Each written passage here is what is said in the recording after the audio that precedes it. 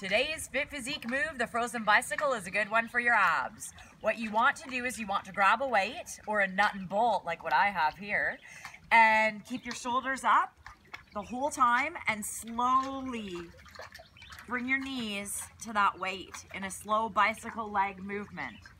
This will work your whole abs. Try performing it for about a minute straight to really start feeling those abs fire.